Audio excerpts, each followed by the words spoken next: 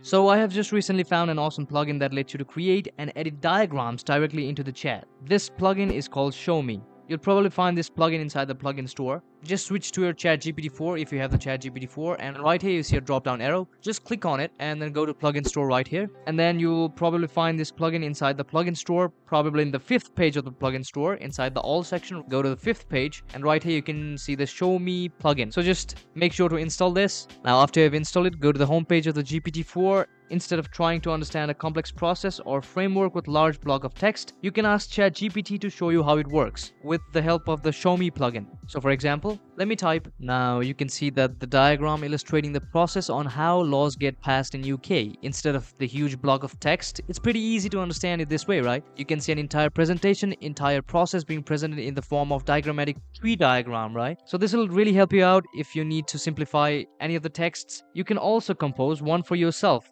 passing a prompt that uses a diagram in order to illustrate something. For example, so right here shown in the screen, you can see that ChatGPT has created a custom diagram according to the prompts that I passed about the dynamic memory allocation in the form of tree diagram which makes it easy for me to understand. It even explains the diagram that is just presented by the ChatGPT in the form of words which makes it easy for us to understand. You can even update the diagram by editing if you want something different in the middle of the process. For example, I want to change this process, so I will pass the prompt and now you can see that the change has occurred to the previous diagram that I had just created. I just wanted to update the diagram by including the restart process again and ChatGPT does it for me using the Show Me plugin. You can also edit the program by clicking on the underlined text right here. Simply click on it and edit texts inside the so created charts if you want to and you can see that the change inside the box right here has been changed. For example, let me say I want to change this part right here and right here you can see that this process has been changed to the text that I just typed here. So this is really an awesome process in case you want to change the